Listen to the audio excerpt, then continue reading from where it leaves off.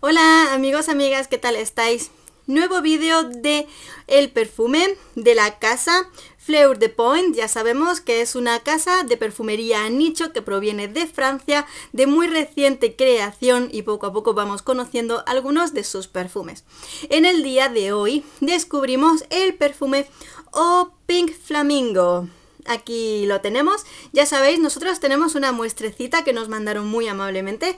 Aquí lo tenemos con lo que lo hemos podido probar, degustar. En esta ficha Aquí nos viene una pequeña descripción que yo ahora os leeré. Y bueno, pues es así. El frasco es mm, rectangular y nos viene, esta sería la imagen que viene del frasco. Os lo voy a enseñar, que lo he preparado aquí. Así sería el frasquito del perfume. Como os digo, pues nosotros tenemos la muestra y está fenomenal porque así tenemos la oportunidad de conocerlo. Este perfume en tamaño de 50 mililitros creo que son 95 euros para que lo sepamos. De todas formas, os voy a dejar enlaces abajo en los comentarios del vídeo.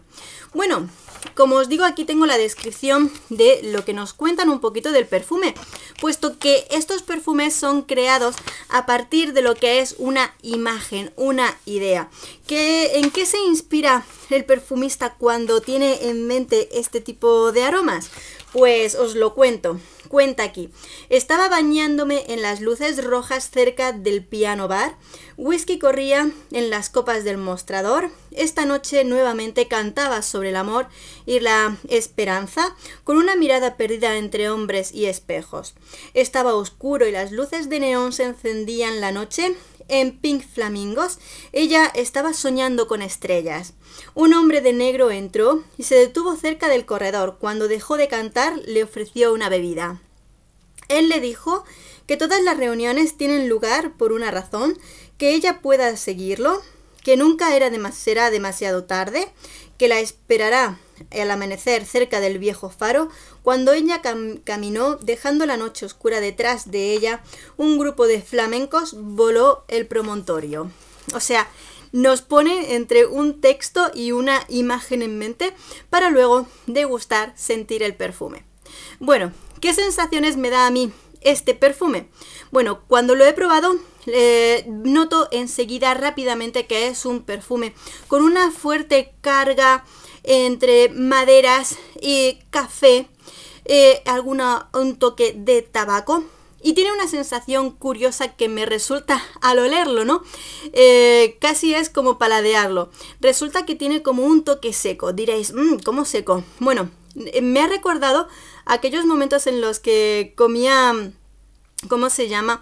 El, eh, castañas eh, parecido, ¿no? A las castañas que cuando las comes te dejan como sequedad, raspereza en la lengua.